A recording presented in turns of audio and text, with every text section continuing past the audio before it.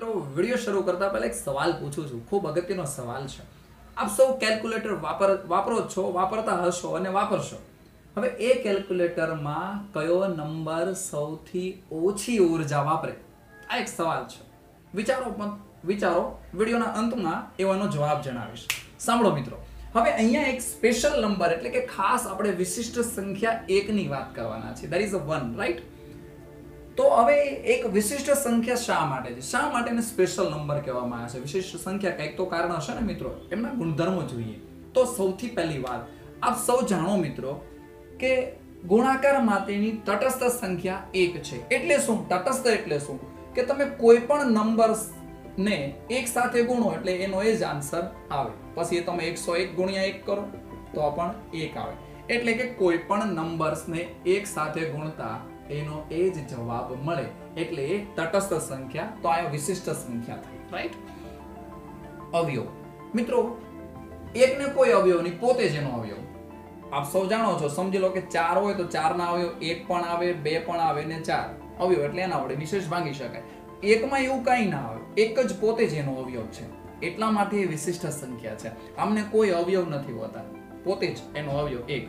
અને અવયવ નથી હોતા મિત્રો એટલે એ વિભાજ્ય કે અવિભાજ્યમાં નથી આવતી. સાંભળજો બરાબર.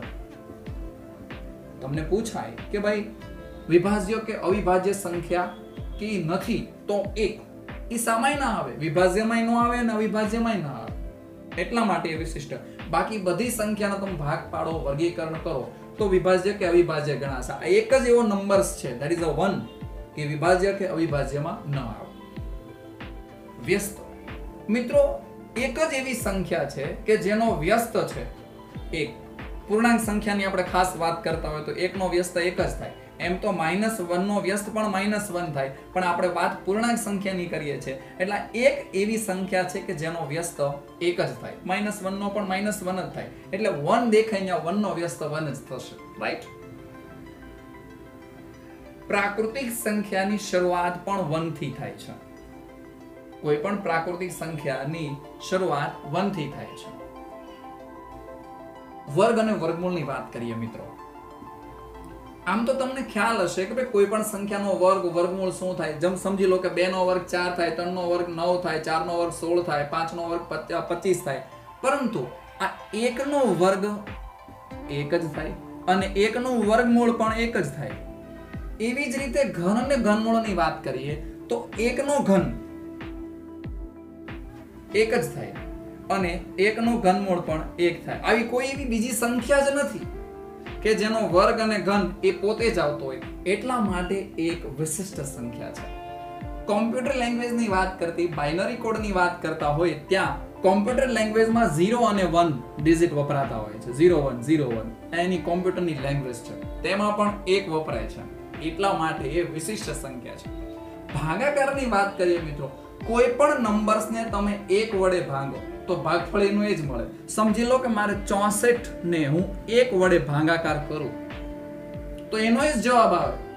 એક છંગ છ અને એક ચોક ચાર. એટલે કે તમે કોઈ પણ નંબર્સને એક વડે ભાંગો, તો ભાગફળ અને જે ભાજ્ય હોય છે એ કેવા આવે? સરખા આવે. તો મિત્રો, આ રીતે એક એ વિશિષ્ટ સંખ્યા છે, એકની ઘણી બધી લાક્ષણિકતાઓ છે અને ખૂબ ઉપયોગી છે, કારણ કે ટૂંકું ટૂંકું અને નાનું, ખાસ કરીને જે લોકો સ્પર્ધાત્મક પરીક્ષાની તૈયારી કરતા હોય અને વિદ્યાર્થી માટે તો ખૂબ ઉપયોગી છે, કારણ કે બેઝિક એક અને અવનવું નવું અવારનવાર પૂછાતું હોય. હવે તમને મેં શરૂઆતની અંદર એક પ્રશ્ન પૂછ્યો હતો કે આ એક જે છે એ શા માટે? ઓછી સોરી માય મિસ્ટેક શા માટે જે નંબર્સની વાત કરતા હોય કે એવો કયો નંબર્સ છે જે સૌથી ઓછી ઊર્જા વાપરતો હોય? તો મિત્રો, તમને ખબર હશે કે બાઇનરી એટલે કે ડિજિટલમાં લખવામાં તમને ખબર હશે. હું વન લખું છું ડિજિટલમાં આ રીતે ટુ લખું છું થ્રી લખું છું. ધ્યાનથી જોશો મિત્રો. વન ટુ થ્રી થોડું સાફ કરીએ અહીંયા. ફોર લખું છું. ફાઈવ લખું છું.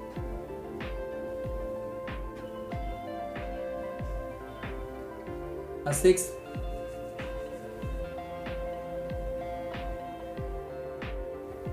Seven. Eight. Nine.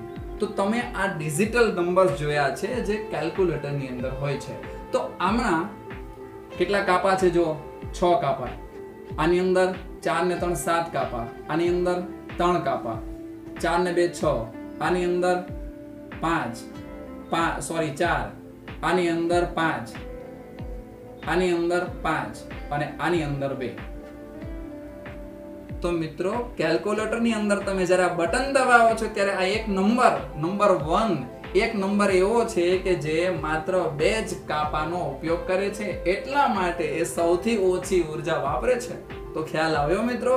આ એક એ કેલ્ક્યુલેટરમાં પણ વિશિષ્ટ નંબર સાબિત થયો છે મિત્રો. તો તમારી પાસે કેલ્ક્યુલેટર હોય તો અત્યારે જોજો અને મિત્રો, હું આશા રાખીશ કે તમને સાથે સાથે આ મજાની વાતો કરાવી, પરંતુ એકની ખૂબ હકીકત અને સાચી વાતો અને જે તમારા ઉપયોગી થઈ એવી બને તો આ વીડિયો તમે વારંવાર જોશો અને તમારા મિત્રોને પણ શેર કરશો, જેથી કરીને પરીક્ષામાં પણ કામ લાગશે. અને એકની જે આ વિશિષ્ટ નવી વાત, જે કેલ્ક્યુલેટરની અંદર ઓછી ઊર્જા વાપરતો હોય, એ પણ તમે નવું જાણ્યા હશે.